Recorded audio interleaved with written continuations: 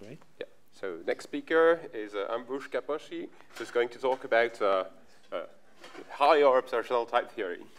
Yeah, thank, uh, should I use that? Or? Yeah. Okay, I, will just stay here. Uh, yeah. So this is joint work with uh, Thorsten Altenkirch and Mike Shulman. And you can notice there's this nice joke that um, higher observational type theory abbreviates to HOTT, right? This, uh, this joke was invented by Mike. Okay, so um, uh, how is the identity type defined? We have some options. So in ordinary type theory, the identity type is defined inductively using this constructor REFL, reflexivity. Then there's cubical type theory, where the identity type is the, where we have this uh, type interval, and then the identity is uh, of uh, a0 and a1.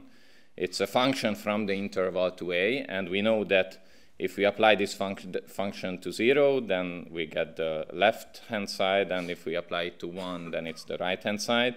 So these are these, these should hold as definitional equalities, and uh, and uh, this interval is representing the, the, the, geometric interval. So basically, we add the ge geometry into type theory. We build in geometry in the type theory to, um, to, to get the identity type.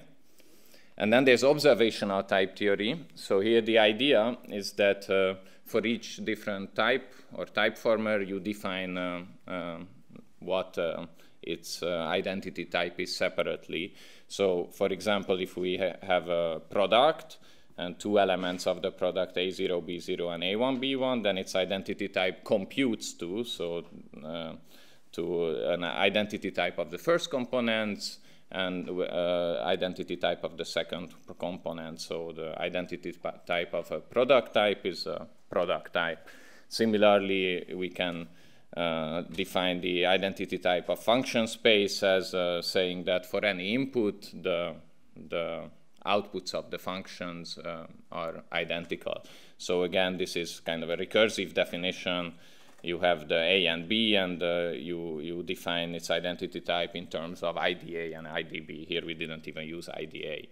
And then for Booleans, you, you can just decide uh, the um, yeah, identity type and uh, you use the eliminator.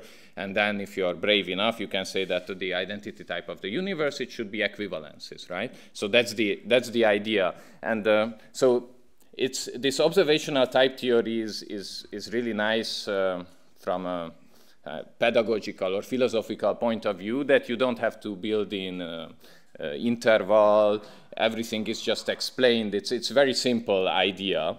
But uh, yeah, and, and, and there was lots of previous work on observational type theory, uh, and it, it works in the um, proof irrelevant setting. So when you make the identity type uh, uh proposition, then it's fine. Uh, yeah. So, but when you want to, okay, so it also works very nicely for simple types. But then if you go to dependent types, there is this problem in, in, in defining the identity type of sigma right? So it should be the same, it should be working similarly to defining the identity type of products, right?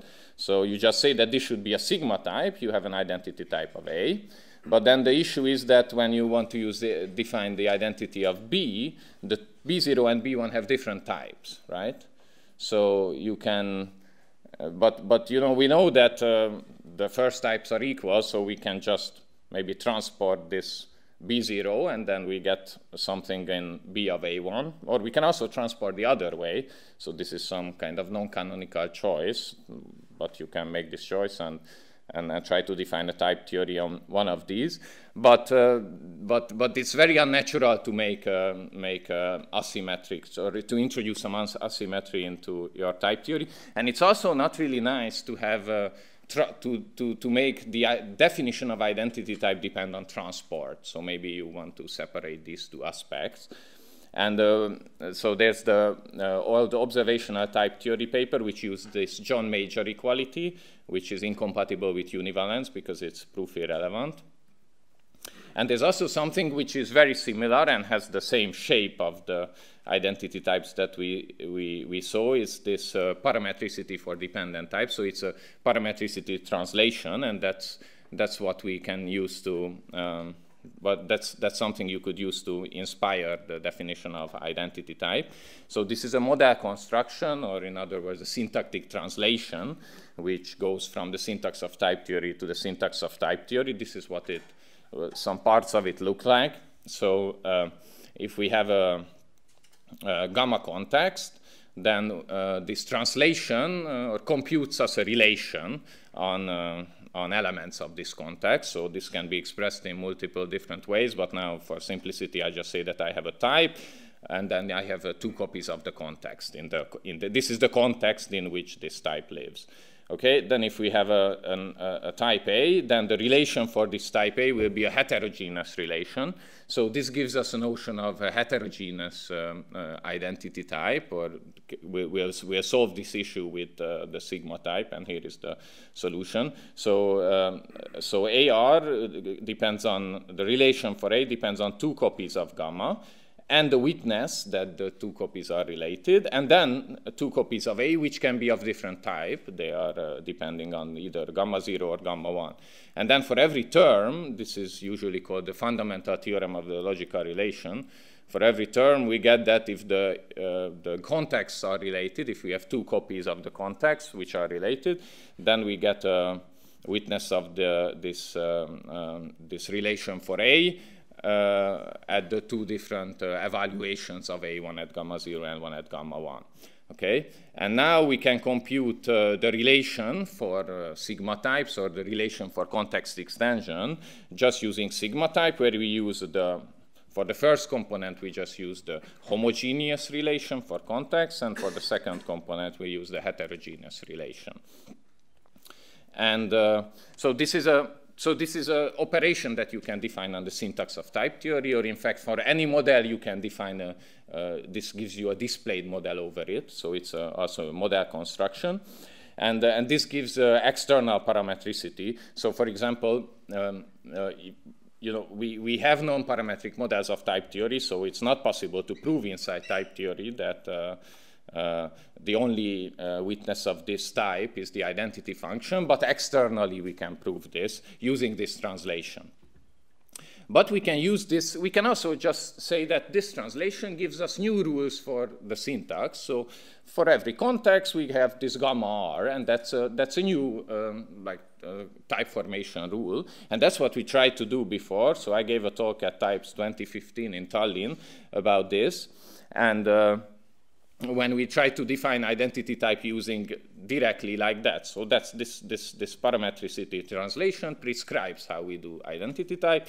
But then the issue is that it's only external parametricity, so we want to internalize it. So we try to add this reflexivity operation, which, which does the internalization for us, but then we ended up in some kind of hell where we didn't know how to compute with this reflexivity. So then came, last year, then came Mike Shulman and solved the problem. So let me show you the solution to this. So the idea is that external parametricity translation, it, it, um, it, it is a translation, so it computes external parametricity, but what does it tell you about internal parametricity? So it can specify internal parametricity. So, and the internal parametricity is a, it's a, it's a non-conservative extension of type theory, so it's, it's okay that you, you, you cannot translate, get, cannot get it from a translation. And the point is that it's, a, it's another pun that it's uh, external, internal, so you just need to change your viewpoint from external to internal, okay? So you just need to uh, do the parametric, Bernardy's parametricity translation, but not externally, but internally. So what does this mean? So uh, uh, if you have the syntax of type theory, you, you have a syntactic category of context and substitutions. Oh, am I, how am I doing with time? Very badly. Okay, okay, okay. Sorry. So, um, um, Okay, so in, in, in the, in the pre-sheaf model over, or the, over the syntax, you get, uh, you, get you have access to types and terms of the syntax and type formers of the syntax. This type Ti circle, TM circle, sigma circle. This is sometimes called two-level type theory, sometimes higher order abstract syntax or logical framework. It's the same idea. Okay, and now in this, uh, this uh, presheaf setting, in this internal language of this presheaf setting, you can, uh, you have a, a, model of type theory, a CWF with extra structure, which is just the usual standard model or set model or type model. So contexts are just types, types are dependent types, and so on. And uh, here is the parametricity translation, same as the previous slide. And what you need to do is just uh, interpret all of this in this internal model. So what I will do, I just replace con by the definition of con here, okay? So con will be replaced by Ti circle, type will, type will be replaced by the, the types in the standard model and so on. So that's the, I just did this find and replace. And then I do another find and replace to get some uh, nicer syntax. So I will call the gamma R, R the identity of gamma. I will call A R the identity of A, and so on. So I have, I get uh, these uh, four operations, and I get equations like this, uh, which tell me how to compute the identity type.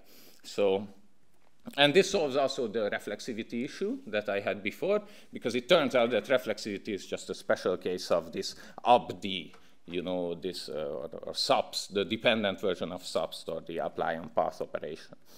Okay, so the, the summary is that the syntax for internal parametricity is the internal version, internal formulation of the ordinary Bernardy logical relation interpre interpretation. Uh, okay, and here are some qualifiers to this. Okay, so this is uh, work in progress, and especially to get uh, uh, real higher observational type theory, parametricity is not enough. You want uh, transport as well. And if you have transport, you also need symmetry. So the picture is a bit more subtle, but it seems to work. And uh, Mike gave a talk about uh, this, uh, a, three, a series of talks about this where you can hear more about this stuff. Yeah, okay, that's it. Thank you. Okay.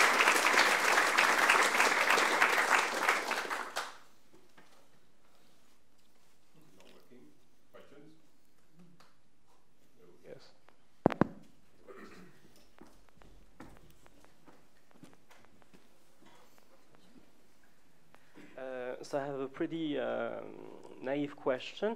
Uh, obviously, you compared this to uh, cubical type theory, uh, but what is the advantage or what is the reason why we would want to use higher observational type theory instead of ordinary vanilla HOTT? I mean, I'm sure the answer is pretty obvious, but does it have to do with uh, how computation works better or something like that? Yeah, yeah, exactly. So mm. vanilla HOTT doesn't have canonicity, so you, okay. you don't know if you have a term of type Boolean in the empty context, you don't know that it's definitionally true or false.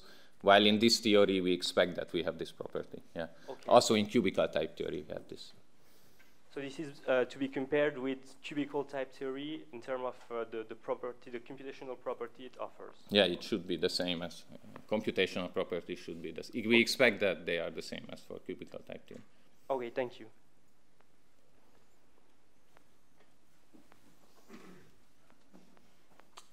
I'll have to pick Um, you mentioned that you would end up in permutation hell. Uh, if you read the, the three, or at least paper one and paper three in, in the PhD by Guilhem Moulin, you see that in, in, paper one they also end up in permutation hell, and in paper three the, the solution is to use like variables to, to like, uh, how, do you say, to, to leave this to the substitution calculus of the, of the system. So I was wondering if, if there is a parallel here or, or if you did something else. Yeah, yeah. So Guilhem Moulin, he, he, he, he really fought through the permutation hell, and he like conquered it or killed the dragon in the permutation hell. And uh, yeah, yeah, but it's it's really difficult. And uh, so the point is that his old syntax and also his new syntax is like mentions arbitrary dimensions. So you, it's like a higher dimensional syntax, while this is a lower dimensional syntax, and that's the nice feature of it. And uh, you don't have to talk about uh, permutations when you define the syntax. So that's that's a, a really nice feature, I think. But and and the, the idea is this this internalization of the parametricity the translation, which in, in hindsight it's a very simple idea. So, but, but is it there in, in some form, or, or is the problem just vanished somehow? Is, I mean, I would imagine I, that. I think this is some. Okay, I don't. I don't know. Maybe this is a clever trick which makes you avoid that. Okay, one one more precise answer is that uh, he uh, to prove normalization for this theory, you will need to talk about arbitrary higher permutations. But just to specify the syntax, you don't. That's that's what we expect. Okay, so let's uh, thank Ambrus again.